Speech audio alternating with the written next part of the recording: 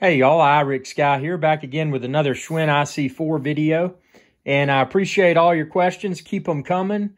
And I'll continue to try to respond to every question face on video. And if you're shopping for the Schwinn IC4, the mat like I use, the shoes like I use, expand this video's description, and then click the link there and you can find where to order it all online.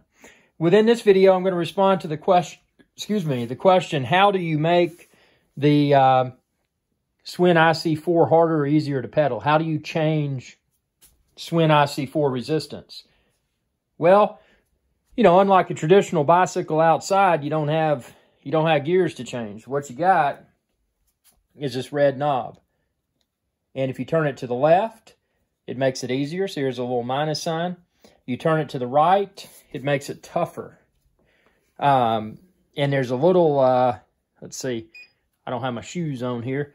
But there's a little screen here. See, it says level. So if I go to the left, it goes down. If I go to the right, it goes up. See? Look at that. It's magic. So that's how you change resistance. And it is worth mentioning, this bike does not have friction pads. It uses magnetic resistance, which is which is so much better. That means you don't have uh, you don't have pads to replace.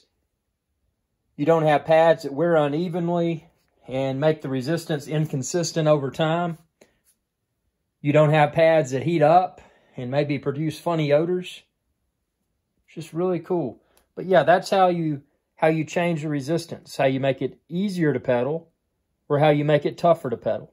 Hope this video helped. And again, be sure to subscribe and ring that bell icon when you do to be notified whenever I post another video. And check out all my other Schwinn IC4 videos too.